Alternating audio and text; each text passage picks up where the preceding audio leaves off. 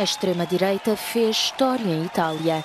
Giorgia Meloni, líder do partido Irmãos de Itália, venceu as eleições com cerca de 26% dos votos, numa altura em que está já contabilizada mais de 85% da votação. É a primeira vez que o presidente dará posse a um governo liderado pela extrema-direita no pós-Segunda Guerra Mundial.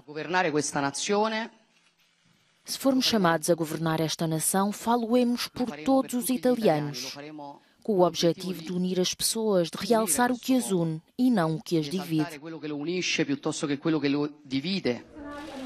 Meloni, a primeira mulher a liderar um governo em Itália, conduz a coligação do centro-direita que inclui a Liga de Matteo Salvini, o partido Força Itália do antigo primeiro-ministro Silvio Berlusconi e os moderados de Maurizio Lupi.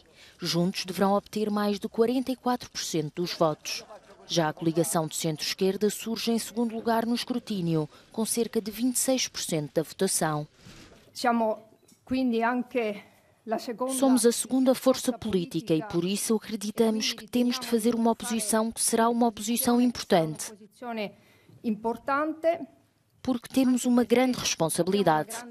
Temo-la perante a Europa e perante o país, para os passos mais difíceis que Itália enfrenta.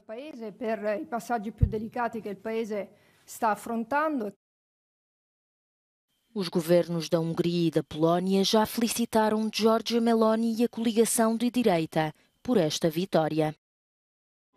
A afluência às urnas nestas eleições terá sido a pior de sempre e deverá rondar os 64%.